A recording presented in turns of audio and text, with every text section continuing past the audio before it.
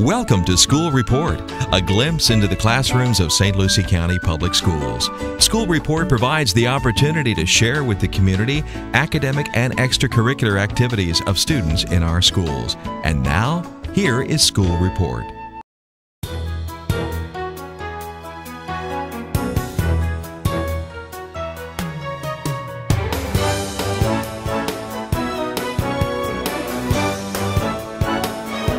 We are a proud ninth grade class. We know what's right. We know better, so we do better. I expect you to be fully involved and fully respectful. You know how we do it. Now to the stage, let me present to you Dr. Mills, our local super school board member, excuse me, and the chairman of the school board. Give her your, give her a round of applause this morning out.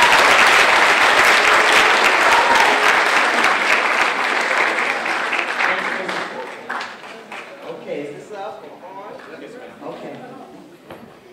I'm here first to explain to you why I'm here. I'm here because we want to bring people from all over this community, successful people who have been through what you are going to go through. And we've already traveled the journey. How many of you ever heard of the Kids at Hope um, journey path of, future journey? We've already traveled that journey. And so I am recruiting people from all over the community. I did it last year. And I've come back this year to do the same thing for the ninth grade academy. And this is a real privilege for Westwood to have. We don't have it, this program at any other school in this county. Westwood is the beginning school that we are doing this, for having speakers come in like we're doing every month. You will hear someone else and we will have a variety of people come in and they're gonna share their story with you. They are just gonna talk to you about how it was for them as they were growing up so that you, that you can see the challenges that different ones had to meet in order to become uh, and had to overcome in order to become very successful in life. Well, today, I will speak a little bit later on about my life, but we have for our first speaker, a, for our very first speaker for this year, for the ninth grade academy, we have your superintendent of schools. So you're going to hear from some wonderful people that have accomplished a lot. And they are going to simply come and tell you how you can make it as well. We want every last one of you to be extremely successful in life because when you're successful, the whole community is successful. When you do well, everybody else is going to do well. And so we want to produce as many people as possible in that arena that will help this community become the best it could possibly be. At this time, your superintendent of schools, who he's newly appointed superintendent as of the beginning of the school year, was a principal at one time right here at Westwood. So you are kind of like his, you know, we won't say that too loud, but you're one of his favorite schools, believe you. And a lot has changed because of this superintendent already that has come in for Westwood. So would you please put your hands together before you do that? This is the way I want you, when every speaker comes in, I want you to be. Because right now you look like college students. And I see your future. I see successful people in this room. And right now you look like that every last one of you. So you continue to look like that, and the speakers will leave out and talk about how what a wonderful school Westwood is when they come. So at this time, please put your hands together for your superintendent of schools. Mr. Wayne Gent. Good morning. Good morning, Panthers. I was principal here before you were born. 1993 to 1996. And we competed at the time with Lincoln Park Academy to try to get the best students in the county. And we've made a lot of changes over the years at Westwood High School. How many of you have a laptop right now? Okay? There's only two schools in the county, really two schools that I'm aware of, in, a, in, in several counties around here. That's Westwood High School and that other school, the Jaguars. And uh, so here's what I want to do. I just want to talk to you for a couple of minutes, and I want to have everybody's eyes on me, and I want you to think about a couple of things. All right, this morning we all did something. When we woke up, we all did something the same, and some of us will do it more during the rest of the day. But when we were getting dressed this morning, and we were getting ready, and we were brushing our teeth and going through everything, everybody in here looked in the mirror. Everybody in here looked in the mirror. Some of you looked at the mirror about 10, 12, 20 times since this morning. Some of you were in the car. I saw you. I saw some out in the car. It was probably the seniors. Uh, but anyway, so you looked in the mirror. So I have a question for you. And I want you to be very serious because nobody knows what you're thinking except yourself. When you looked in the mirror this morning, did you really pay attention to what you were looking at? You were looking at the outside, making sure I was looking good, coming in, I had to impress this person, that person. But did you look inside and what you're really made of inside? So I have a question for you. No test, but you have to do vocabulary tests all the time in all of your classes. And you have to do you have to find the word and you have to define the word. So my question for you while I'm talking this morning for about 10 minutes, 10, 15 minutes, is my question for you is What's the definition of you? How do you define yourself? What's really inside here? Not what everybody's looking at on the outside, but what's on the inside. So when you look at yourself in the mirror, what do you really see inside? And do you see somebody inside that's strong, that can persevere, that has, has goals that are set? So let me tell you my story real quick. My mom and dad, my father never knew his dad. He never saw his father, never knew him. His mother died when he was nine years old, up in Pennsylvania. So, my dad raised himself with his grandmother and with his sisters and brothers, and ended up in Florida. My mother, her dad left her when she was very, very young. Her mother died when she was 12 years old, so she was on her own. So I had two parents that were on their own, and somehow they met in Miami, Miami, Florida. I was born in Miami, and when I was born, my father was a butcher. You know what a butcher is? You go to the grocery store, that's the guy in the back that's cutting the meat. Cutting up the chicken, cutting up the steaks, cutting up everything. Okay? So he was a butcher, and my mother didn't work. And I had a sister, an older sister, and then I had a young, later on I had a younger brother. So, when I was growing up in Miami, you know, we had a very modest home, very modest income, and I was into sports. And I like sports, and I still do. Except I don't like Miami Dolphins right now. You're making me upset. But anyway, so I like sports, all right? So I used to go to the park every day. And the main sport that I played was basketball. And many times I'd go up there by myself and just shoot and shoot and shoot. Okay? Dribble, work on drills. And then my sister went to a school called Carol City High School. Miami Carol City High School. All right? Which has a rich athletic tradition. Similar to Westwood, similar to Central has a tradition across the, uh, the state. And so my sister went there, you know how this is, you have an older sister. You, I, my dad would take us to the games. And so I'd get into the football games, and I'd get into the basketball games, and I decided that that's the school I wanted to go to. And I wanted to try to play basketball there because they had the best basketball program in Miami. And I wanted to challenge myself to try to be the best. So, they changed the zoning, you know how you have attendance zones, and I was supposed to go to a school called Miami Central. Now, a lot of you guys have heard of Miami Central because they have an outstanding football program right now. But they had, back then, they were just an average school, and I didn't want to go to that school. I wanted to go to Carol City. So, I took a class, Latin. Anybody ever hear of Latin? It's a language, okay? So I could go to that school out of zone. And my main goal was to make the basketball team. I just wanted to make the basketball team and go to the school. I could have went to the other school, it would have been easier to make the team, but I wanted to go to the strongest place. So, long story short, back then you had, you had 10th, 11th, and 12th grade. It wasn't freshmen, you just had sophomores, juniors, and seniors. So you all would still have been in junior high school or middle school. Okay? So, we go there, and we have tryouts. And the way the tryouts work is there were like almost 150, 200 guys in the gymnasium. And they lined us up on a wall, and they counted down to 10 and brought 10 guys in, and you play man to man. And if your man scored, if your man scored, then you were out. You had to go get back to the basket, to the end of the line. So it didn't seem like a very fair process. So the first day I'm there, my whole goal was to make the team, walk in there, get into the game. I was in the middle of the crowd, got into the game, and I was guarding some guy, and he threw up some crazy shot that went in. So I was only in there for like 20 seconds, and I was out. And I'm thinking, I've blown my chance. I am not going to make this team. Everything I've worked for all these years, I'm not going to make it.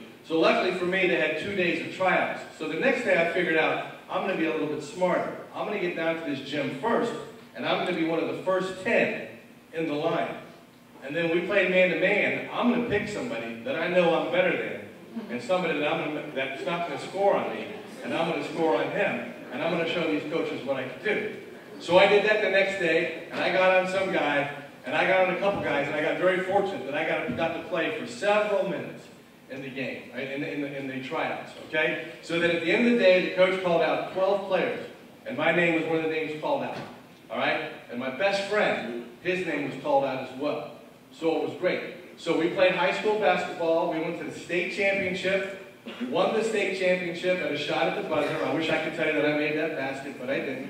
This was before the three-point line, way back when in the day. Okay? And then won that state championship, but at the time doing all this, I was like, all right, I want to go to college. My parents had never gone to college.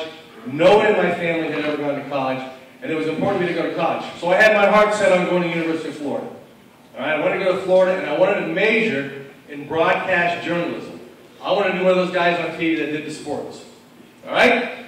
Don't lose me. Don't let me lose you. So, I'm all pumped up, fill out all my applications, and Florida will not accept me because I scored too low on a test called the SAT. Remember that? You're going to be taking this in, in a few years. All right? I was a couple of points low. I was less than five points from where I needed to be. So Florida said, in order for you to come to school here, you need to come up in the summer and go through some special program. Well, my parents didn't have any money, and I was working at a gas station, uh, pumping gas. Probably some of you don't know what that is. You gotta pump your own gas now. Back in the day, we would pump gas for you. Some of the teachers may remember that. All right, so I had to keep working. So, boom, my goal to go to Florida was shot, and I, my, my guidance counselor said, well, there's a college up in North Carolina, a small college that I went to. Maybe you could go up there, and maybe you could still play basketball at a small school.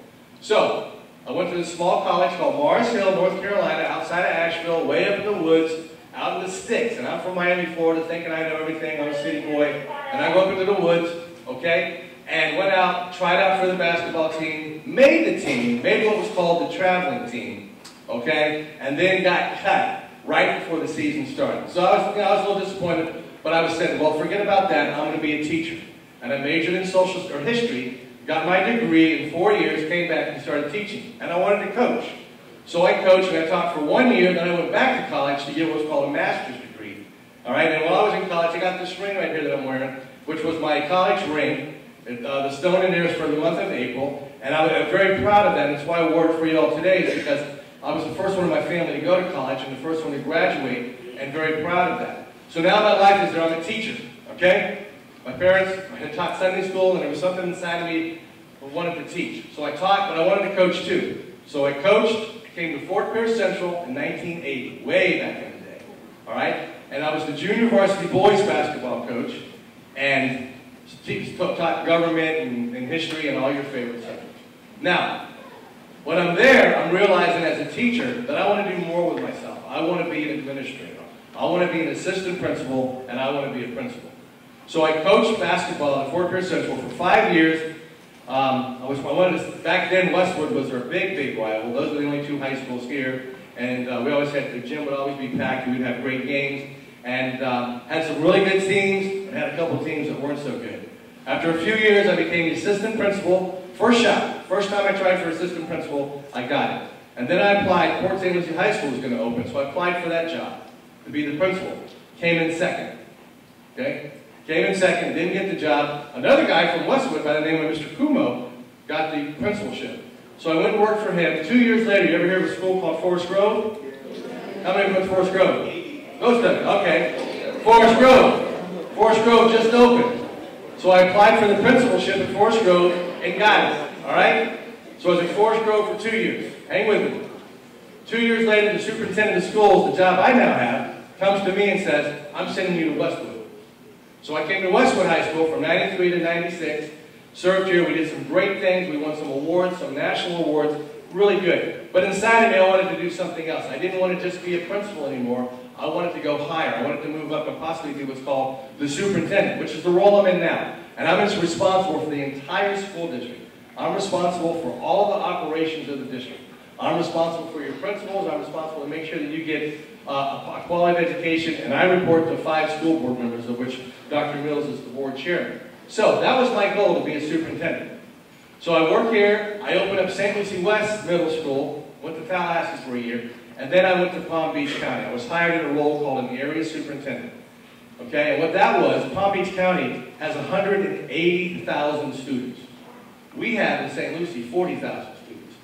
We have 40 schools, they have 180 schools. So I went to Palm Beach County and I worked in North End, what was called an area superintendent. I had a, I had a um, boundary of Riviera Beach, Palm Beach Gardens, Jupiter, and some of West Palm Beach. Many of you have been down there and seen those areas. So from there, then in 2003, I applied for the superintendency here in St. Lucie County.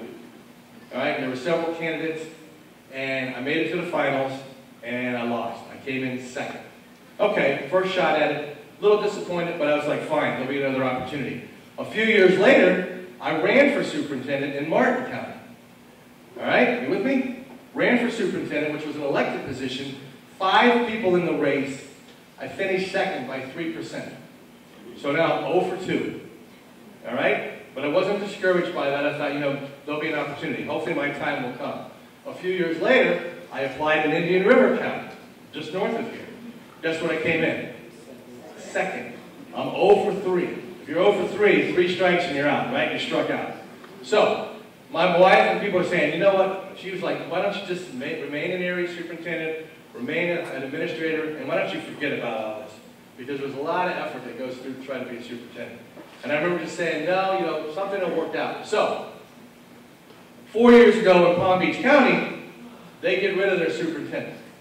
The 11th largest district in the United States, 180,000 students. And they came over to me and they said, we want you to be the interim superintendent. What that means is you're temporary. You're just there for a while until they find who they want. And I said, fine, because I don't want to be the superintendent of Palm Beach County. It's huge, it's big. I just, you know, I'll help whoever it is that comes in. So I was interim superintendent, and a few months later they came to me and said, we're going to put you into the permanent position. A job I didn't even want or ask for. All right, so I struck out three times earlier, and a lot of people were saying, you know, you're a loser, my kids will go around into the hell, everything's in your face, you know, but it didn't deter me, because there was something inside of me. There was something inside of me bigger than the circumstances, that I knew there was a calling. So then from there, I served for four years. Palm Beach County was the highest performing academic um, urban school district. We outperformed Miami, Fort Lauderdale, Tampa, Jacksonville, Orlando. We had the highest graduation rates, everything. So after four years, I decided it was time I wanted to look for something else. And fortunately, the school district and school board in St. Lucie County, failed that to say this, overcame some hardships.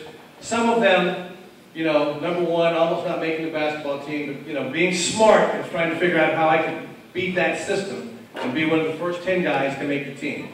Because I would have been devastated. My whole life since I was elementary school, I wanted to make that team and to be on that team. All right? And then being denied going to the University of Florida with my best friend at the time. He was going to Florida, I was going to be, go to Florida. Find out just in, in May or June that you can't go and you got to go somewhere else. So, okay, regrouped, went to North Carolina to a small school. Came back, started teaching. Didn't get the first principalship I wanted, but I got the second one. All right? Didn't opened up this, came to this school, was successful at this school, went to Palm Beach County, and three times struck out as trying to become a superintendent in this area. And then it finally worked out. Now, I asked you a question at the very beginning. When you looked in the mirror, what do you see? Do you see somebody that can overcome obstacles? Many of the obstacles and the things that you face in your life today, we never experienced. I never experienced. I see it, I saw it as a principal, I saw it as a teacher, and I saw it as a coach. But you, you guys have so many things that come your way, but you also have great, great opportunity. So my question to you is this. Tonight when you go home and you look in the mirror, I want you to really define yourself. Who are you really? Do you have what it takes inside to overcome any obstacle?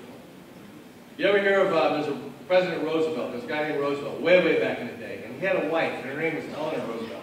and she made the, the following quote. No one can make you feel inferior without your own consent. Let's talk about that for just a second, I'll close. What does it mean to feel inferior? That's where you don't think much of yourself. That's where you think that you have less than others around you. And so you start to think that I don't, I'm not worthy and I don't have what it takes. But you know what? Nobody can make, you're the only one that can grant yourself permission to feel that way about yourself. Nobody else can do that to you. They can say things to you. But if you have something and you have a strong belief about yourself, and this is the whole key of my message, is what you truly believe about yourself. Do you believe that you have what it takes inside of you to overcome anything that you're going to face? Many of you have goals. Many of you want to go to college. Many of you want to go into a high-paying job. Many of you have different goals. And some of you are not sure what you want to do right now. And that's fine too. As a freshman, you may not know. Seniors don't even know.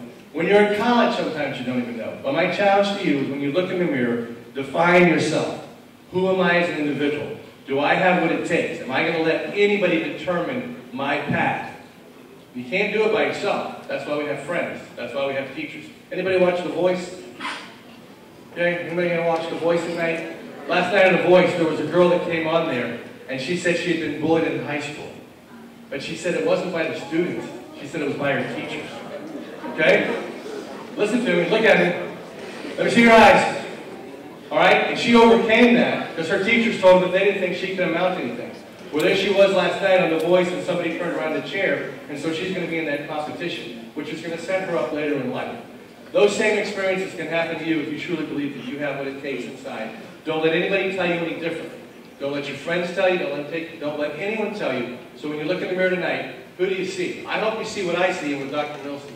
We see kids, young men and young women with a bright, bright future. All right? And my job is to make sure that we have everything in place for you to be successful at Westwood High School so that you can be successful when you get out of here and you move on to college or you move on to a career. All righty? So, it starts your freshman year. Look in the mirror tonight and have that honest, many of you have never done this, just have an honest discussion with yourself. Nobody else knows about it. Nobody knows what you're thinking. Some of you guys are thinking, oh, that's crazy, that's corny. Well, that's the immature crowd. But some of you are getting into it. You're going, yeah, there's something inside of you. Because each one of you has it inside of you. And don't let anybody take it away from you. Have a great freshman year. I'm glad I had the opportunity, Dr. Mills, to be the first one to speak to you be back visiting your classrooms. I have, um, I have some relatives in this school. I won't tell you who they are. Um, but I have some relatives that go to school here as well. So I pay close attention to what's happening at Westwood as well as all the schools. It's great to be here. So Panthers, who do you play Friday Night Football? that again? Don't worry about, don't worry about that. Don't worry about, I won't ask you to play football. But what I want you to do, go home tonight, look in the mirror, and ask yourself, who am I really, and do I have what it takes? And nobody can take it away from you. Got it?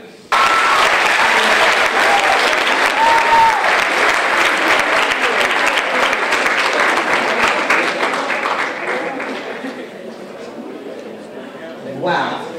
Our first speaker of the year. And I have questions.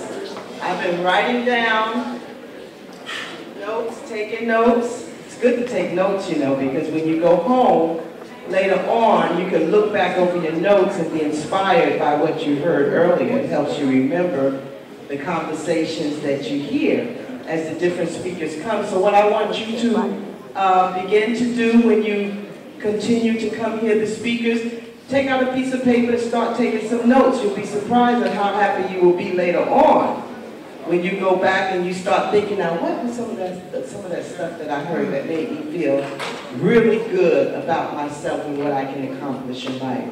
So what we're going to do after each speaker speaks, if we have extra time, we're going to ask you questions. And we're going to see how much you actually um, heard and got out of the message. So before, if I don't have time, because I know we we end at about a little before 8.30, I think like 8.28, something like that, then I will not get to tell you my story today, but my story will come to you because I will be here every time a speaker comes. If I'm able to, I will be here. So I have some questions, and I know we have some teachers. Thank you so much, teachers. Um, let's give our teachers a big hand clap. So much for what you do. Um, and as educators, we certainly do appreciate all that you do. Ninth graders.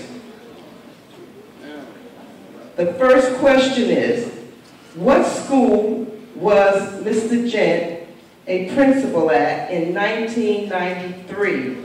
Shout it out. Great. What was, now you have to, after you say it, you have to be quiet because I'm going right to the next question. What was, what was his, oh, let me see, what was his, question to you that he said he wanted you to look in the mirror and do? Define yourself, I heard that. Ask yourself, what do you look like inside? You know, I said to a young man um, a while back, going back, he, this young man, uh, we helped to raise in our program. We have an after-school program. And we helped to raise this young man from the age of 11 when he was going to Dan McCarty all the way up to young adulthood. And he left us for a while. When he returned back to say thank you, he said every time he looked in the mirror, in fact, he's a Westwood graduate.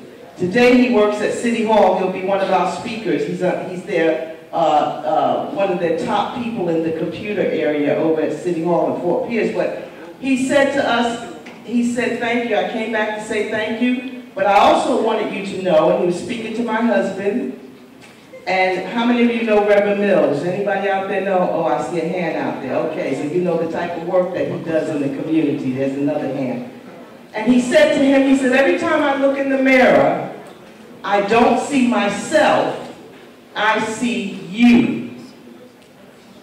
So my husband made such a tremendous impact in this young man's life that, um, and he's got a story to tell you, that he was able to go continue his education, make the right choices, and now he's back in this community, not only working at City Hall, but being a very strong community activist uh, in this community. So it's, it's, the sky's the limit. Whatever you want to do in life, you can do it. Number three question. What was he into as a child? One word. Sports. That's what I want to hear. Good. What sport did he mostly do? Basketball. See, I knew all of you had all these answers. What class did he take in order to go to his school of choice? Latin. He had to, he wanted to go play basketball, so he knew he had to take Latin to get in this particular school. That tells me how important your education is. A lot of you want to play sports. You want to play basketball. You want to play football in college. But you have to have a good academic record. You have to be able to do well academically to move forward in life.